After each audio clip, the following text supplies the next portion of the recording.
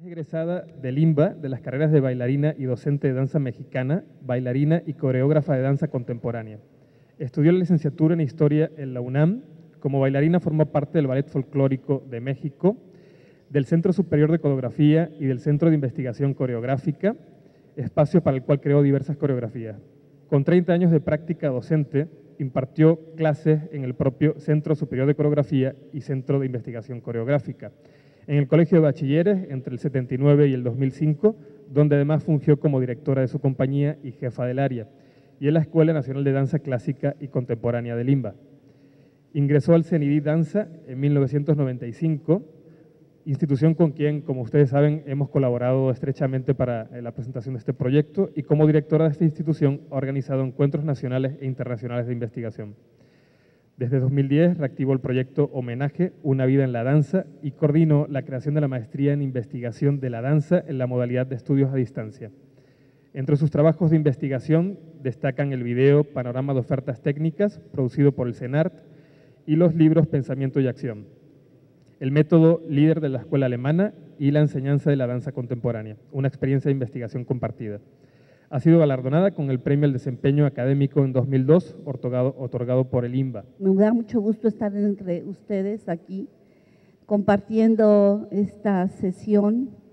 Y déjenme decirles que siempre venir a Culiacán representa un compromiso muy fuerte, porque yo sé que aquí la gente conoce mucho sobre el personaje del que vamos a hablar y sé que son gente muy involucrada en, pues, en su vida, en su obra y en todas las cuestiones que tienen que ver con el desarrollo pues, de la danza en México.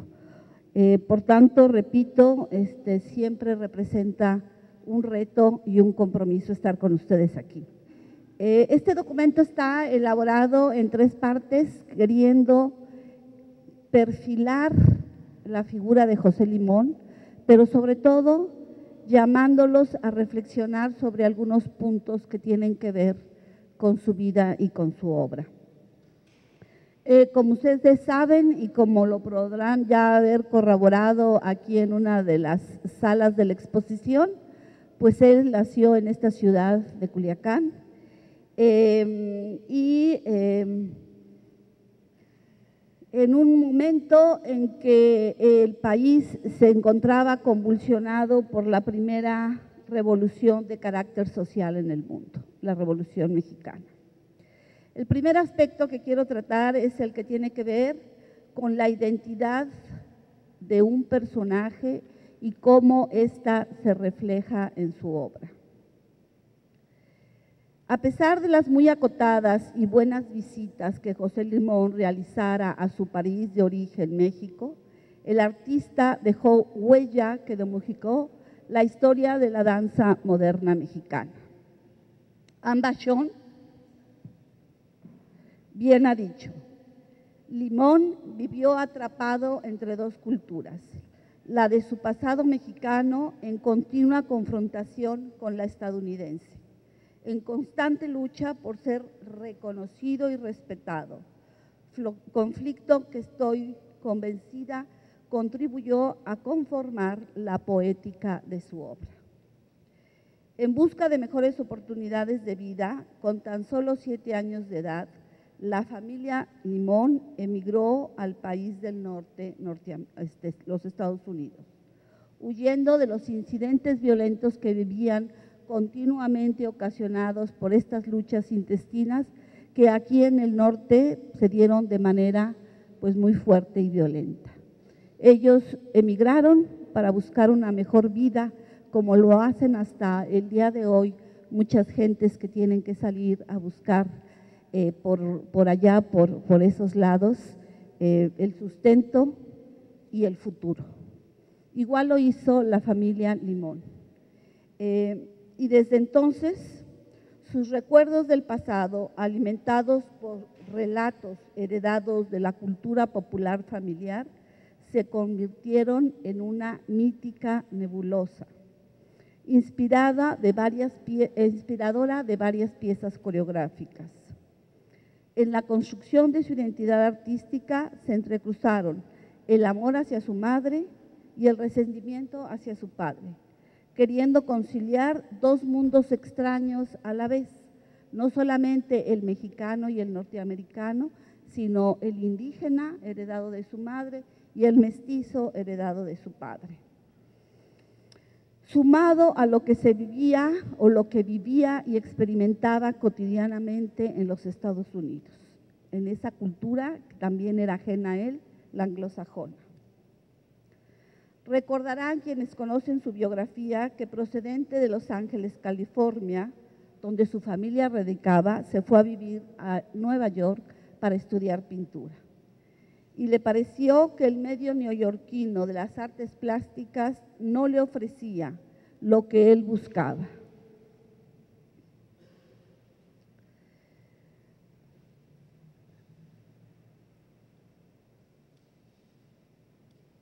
El asunto de las artes plásticas lo dejaba a él insatisfecho. Entonces, en su relación con amigos, se acercó a la danza, donde encontró su verdadero camino, vía por la que empezó a resolver las ambivalencias culturales que lo asediaban. A pesar de su gran timidez y su formación religiosa, venció sus temores e ingresó a estudiar danza gracias al apoyo brindado por las propias lecturas bíblicas que hacía.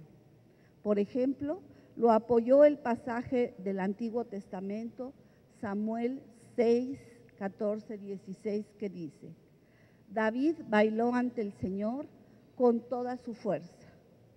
Y las citas que hacen referencia a que la iglesia cristiana había guiado a sus devotos en danzas solemnes. Además, trajo a su memoria hechos históricos como el que los guerreros de la antigua Grecia se entrenaban en la danza. Las, referencias permitieron a José pensar que podía aprender a bailar y al mismo tiempo conservar la dignidad y sobriedad que siempre lo caracterizaron.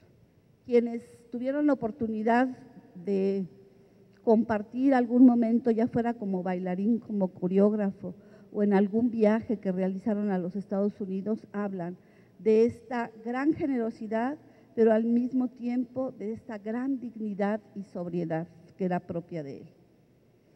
Es así como en su biografía Memoria Inconclusa señala como fecha de su nacimiento, vamos a ponerlo entre comillados, la de 1932 fecha de su llegada a la danza, la de su conciliación y autoaceptación, misma fecha en la que inició su formación como bailarín en el estudio de la famosa pareja artística de la danza moderna, Doris Humphrey y Charles Wyman, en esa misma ciudad de Nueva York. Al ingresar a la danza, empezó a, a resolver sus conflictos de identidad ciudadana y los profesionales.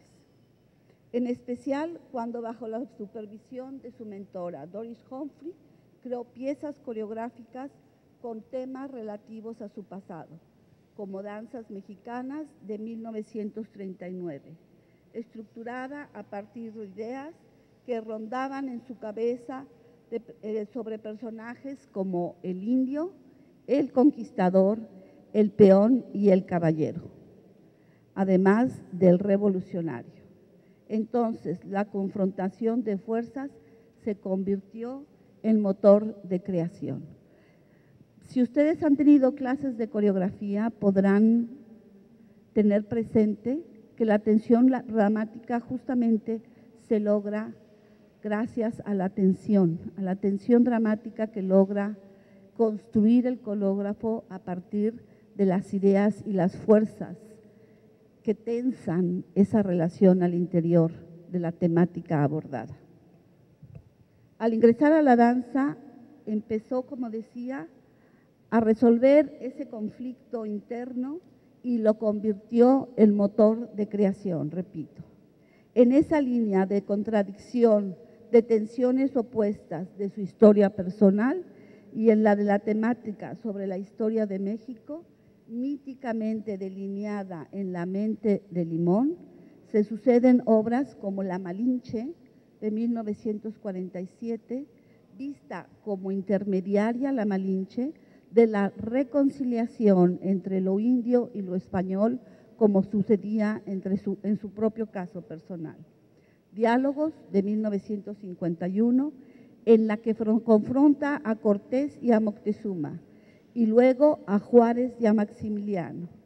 Y también Carlota, la obra de 1972. En todas ellas vemos siempre a un otro, distinto en antagonismo.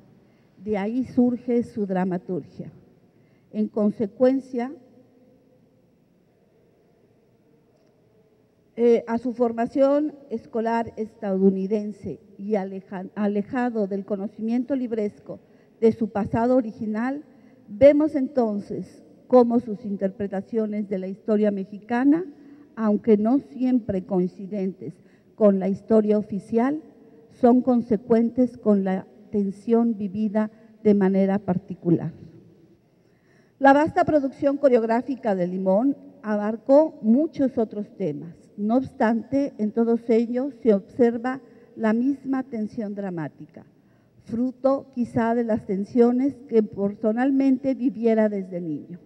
Gracias a esas características, su obra logró conmover al público no solo de ambos lados de la frontera, sino también en todo aquel sitio que tuvo el gusto de ver su obra en el resto del mundo. La atención de la que fuera el objeto personal, vivida como presencias opuestas y contradictorias, vuelve a presentarse como crisis tras el triunfo de su compañía que visitó México en 1950. Limón regresó a los Estados Unidos como artista consumado la prensa estadounidense había construido en gran medida a ello.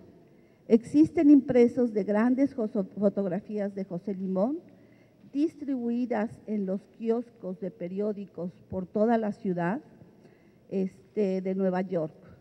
Su nombre también empezó a aparecer encabezando marquesinas, queriendo patentizar su pertenencia a los Estados Unidos.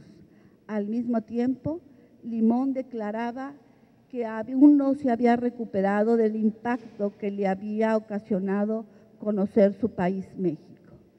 En una carta a Rosa Rolando, mujer de Miguel Covarrubias, artífice de la gira, escribía, me asomo por la ventana de Woodland Avenue, una vieja y familiar vista para mí desde hace más de dos décadas y de pronto me siento como un extraño y digo, ¿qué diablos haces aquí?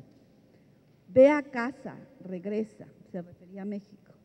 Hoy más que nunca el conflicto es grande, porque lo que en una época solo fue, fueron recuerdos borrosos, ahora lo he visto. Esto me hace temblar, porque mi pequeño mundo a salvo ya no lo está. Tengo que empezar todo nuevamente. El investigador José Limón, que por cierto no es familiar de José Limón, en un estudio sobre las minorías en los Estados Unidos y su lucha por ser reconocidos como ciudadanos con derechos, habla de un gran México, concepto que utiliza para definir no únicamente a los mexicanos residentes en nuestro país, sino también aquellos mexicanos de la primera mitad del siglo XX que emigraron a los Estados Unidos y que, aunque avecinados allá durante años, eran identificados solo como mexicanos y nunca reconocidos en su doble identidad. ¿sí? Para, para los norteamericanos, ser residente en los Estados Unidos te daba la categoría de mexicano no la categoría de ciudadano norteamericano. A pesar de ello, y justo por haber triunfado, José fue recibido como el gran artista de la danza norteamericana. Sin embargo, personalmente lo que experimentaba era el resurgimiento de la tensión entre ser mexicano o estadounidense. entre ser reconocido como parte de la sociedad que lo albergó desde niño o regresar a un mundo que prácticamente desconocía, México. Algunos juicios desinformados y malintencionadas críticas han juzgado a Limón por participar en la presentación de eventos culturales para asistir a las tropas estadounidenses y por haber fungido como embajador cultural de los Estados Unidos durante la Guerra Fría en países de América Latina y de Europa. Sin embargo, a mí me parece que era lógico y comprensible que él como artista, creador de una de las manifestaciones culturales más vívidas y propias de Norteamérica, la danza, al mismo tiempo que como artista pobre y no policitado, aceptara las ofertas de trabajo, no solo porque garantizaba la supervivencia de la compañía, sino también en busca de reconciliación del mundo que lo albergaba. Por otro lado, y debido a causas muy ajenas a su deseo, entre ellas los vaivenes de las políticas culturales en México y en las luchas basadas en el poder al interior del campo dancístico, José Limón, después de sus visitas de 1950 y 51, no volvió a ser invitado a bailar a México. Sí se entiende de lo que hablo cuando hablo de esta tensión, ¿sí? de un personaje talentoso, sensible, eh, eh, con gran amor por su mundo y su país de origen, pero al mismo tiempo educado, y formado como artista en los Estados Unidos. Esto creo que es importante y repito, eso fue lo que fue el gran motor de su, de su obra coreográfica. Finalmente, y no solo gracias a su éxito personal, la minoría étnica a la que pertenecía se consolidó y fue reconocida a partir de los años 60 del siglo pasado. Con ello, José logró su verdadera identidad, la de un México norteamericano. Esto último le permitió una nueva reconciliación consigo mismo. La tensión había cedido. Segundo aspecto, la danza mexicana bajo la influencia de la visita de Limón a México, la prensa. La visita a México de José Limón se realizó gracias a los buenos oficios del jefe del departamento de danza de ese entonces, Miguel Covarrubias, quien acompañado de su esposa Rosa Rolando, tras el triunfo en 1948 de la pieza de Limón, La Pavana del Moro, ganadora del concurso en el American Dance Festival del Connecticut College, visitaron el estudio de Limón en Nueva York. La compañía interpretó La Malinche. Los Covarrubias quedaron profundamente emocionados. La idea de Miguel Covarrubias de contratar a Limón era la de que los bailarines mexicanos se vincularan con las grandes personalidades de la danza moderna y que ellos y el público mexicano adquirieran un concepto de la danza moderna más avanzado y de mejor calidad artística. Esto lo decía el propio Covarrubias, con expertos como Marta Graham, Doris Humphrey y el propio José Limón. La visita de Limón a México estuvo precedida de comentarios elogiosos hechos por la prensa norteamericana en Nueva York, Boston y Filadelfia en revistas como el Dance Magazine o el Dance Observer. De entre ellos destacaba lo dicho por John Martin, un crítico muy famoso, quien afirmaba que Limón era el bailarín más extraordinario de su clase. La idea era lograr que la danza no se refería a su clase, clase de salón de, de, clases, se refería a, a, el mejor bailarín de su tipo, pues, ¿no? La idea era lograr que la danza alcanzara el lugar que los músicos y pintores nacionalistas mexicanos habían logrado. Esto era hacer obras con espíritu mexicano, pero alejados de folclorismos, de atávicos, contar con una danza de expresión no ideologizada, una danza emotiva, no intelectualizada, preocupación de Covarrubias y de muchos bailarines mexicanos. En la figura de José Limón y sus coreografías de corte mexicano, ese ideal se cristalizaba. Las enseñanzas recibidas por Limón lo convertían en el candidato ideal. Por otro lado, el gremio y las autoridades mexicanas creían que la obra de un mexicano como Limón sería igualmente mexicana. A pesar de que Martín Luis Guzmán, no sé si han oído hablar de Martín Luis Guzmán, uno de los intelectuales y escritores más prominentes de esa época, apoyaba al ballet clásico, representado en esos momentos por las hermanas Nelly y Gloria Campobello, fue uno de los primeros en, legitimar el trabajo de José Limón y la presentación de su compañía en el Palacio de Bellas Artes.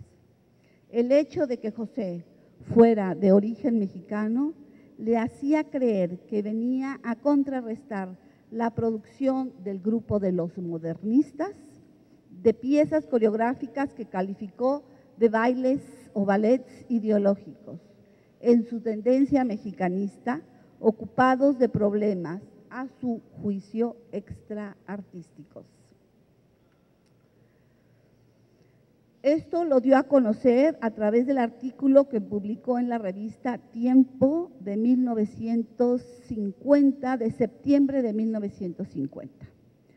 Con 31 años de edad, tras el rotundo éxito de la presentación de su compañía en el Palacio de Bellas Artes, con piezas tanto suyas como de su maestra Doris Humphrey, no solo Martín Luis Guzmán, sino toda la prensa mexicana se volcó en comentarios. Así leemos notas en los diarios, novedades, tanto en sus páginas interiores como en su suplemento México en la Cultura, además en el Universal en el Universal Gráfico, el Nacional, Novedades y Excelsior. ¿Sí? Todos estos son periódicos de circulación muy importantes en la Ciudad de México desde entonces y hasta la fecha. Y en revistas como Vuelta, Nosotros y Redondel.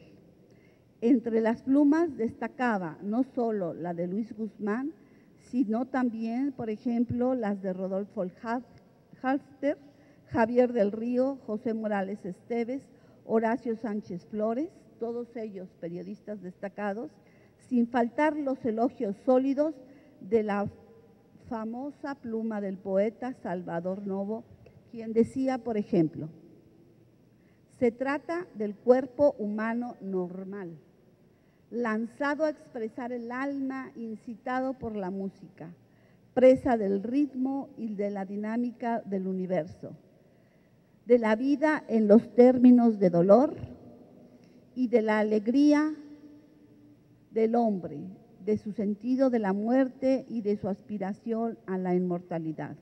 Novedades 19 de septiembre de 1950. Otros aseveraban que el humanismo de su arte, en el humanismo de su arte reside un germen que seguramente podrá equilibrar la serie de situaciones y proyecciones de carácter espiritual que tanto se manifiestan en los duros momentos que vivimos. Universal 1950. Otros más afirmaban que era el más grande bailarín masculino de nuestro tiempo, o que se trataba de un bailarín de técnica firme, impecable, recia y varonil.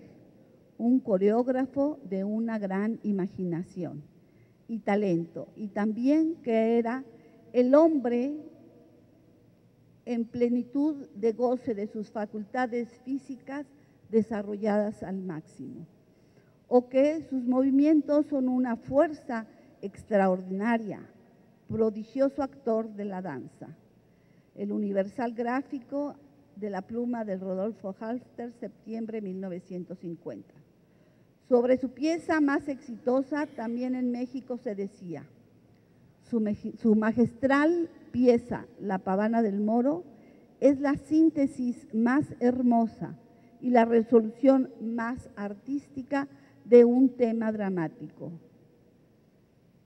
Eh, pieza cumbre de la noche, además, sobre la Malinche se afirmaba que ofreció en distintos momentos cuadros de Orozco, vivos y dinámicos.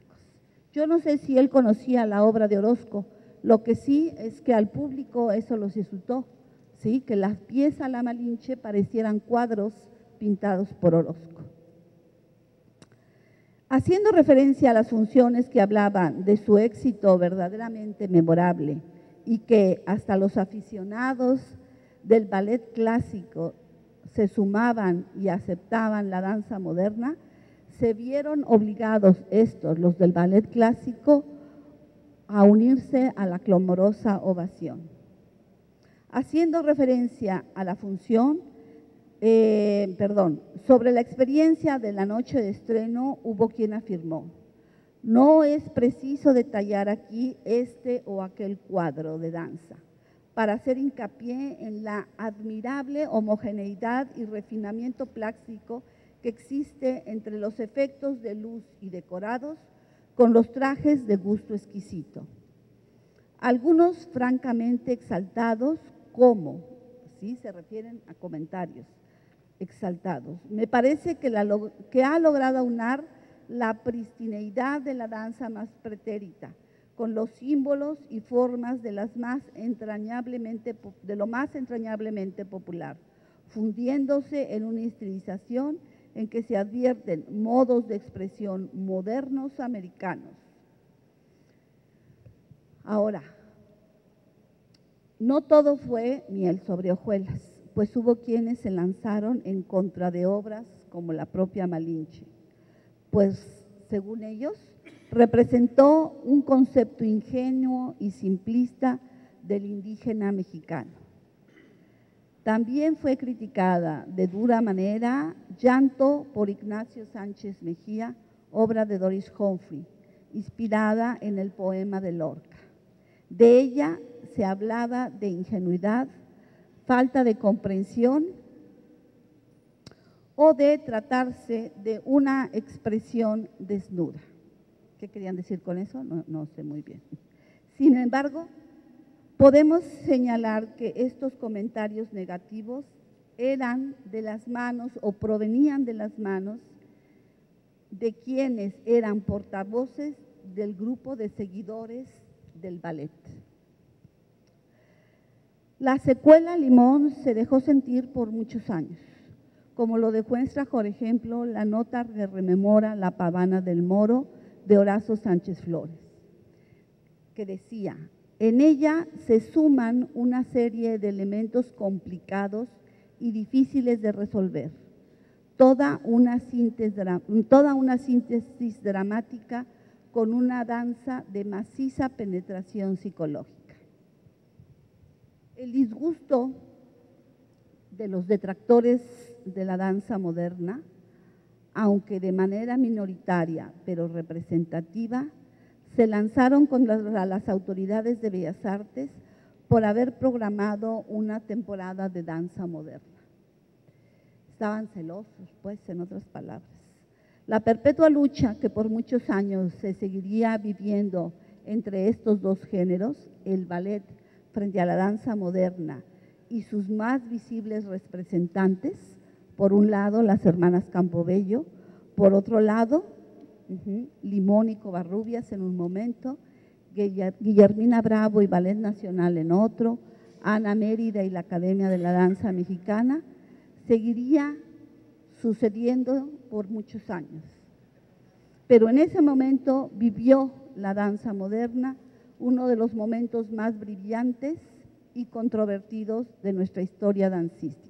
Porque aunque los bailarines mexicanos justamente era lo que se dedicaban, a hacer danzas con temas mexicanos, de lo que se querían alejar, y era la intención de Covarrubias, era Covarrubias por ahí tiene un texto muy bueno donde dice, el que se pongan guaraches y usen rebozos no necesariamente retrata lo que el sentimiento de lo mexicano.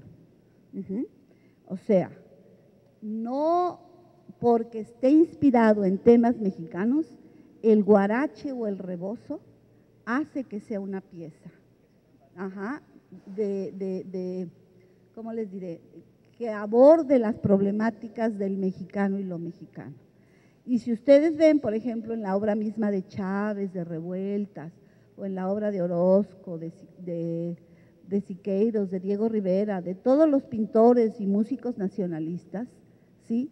aunque están reflejando problemáticas y personajes mexicanos, no están haciendo artesanía. Se nota la diferencia entre una cosa y otra. No quiero decir que los bailarines mexicanos hicieran una artesanía dancística, no, de ninguna manera, pero sí que trascendieran aquellos elementos con los que creían que quedaban resueltas las problemáticas de abordar temas mexicanos. ¿Sí se entiende la diferencia? ¿Sí? ¿Sí? Bueno, que por cierto, bueno, pues ese problema puede ser un problema muy latente incluso, no solo en México, en Latinoamérica y en Europa, cuando se quieren abordar temas que tienen que ver con temas nacionales. Bueno, voy a entrar al tercer aspecto. La técnica de entrenamiento, una propuesta de la danza moderna norteamericana. Cuando uno entrevista a los bailarines que trabajaron durante los años de visita de José Limón a México, 50-51, no hablan de sus clases, menos aún dan testimonio de su técnica. Recuerdo a la querida maestra Valentina Castro, a quien en entrevista le preguntaba sobre el particular. Con una gran discreción, su respuesta era hablarnos de su experiencia bailando con el personaje. Por ejemplo, nuevamente cito Tonancintla, o los grandes momentos volvidos por la danza de, de esa época, evadiendo el tema relativo a la técnica. Por otro lado, en diversos textos, leemos cuáles eran las tareas de los miembros de la compañía de esas visitas. Doris Humphrey se encargaba del entrenamiento, tanto de la compañía de José Limón como de los bailarines mexicanos.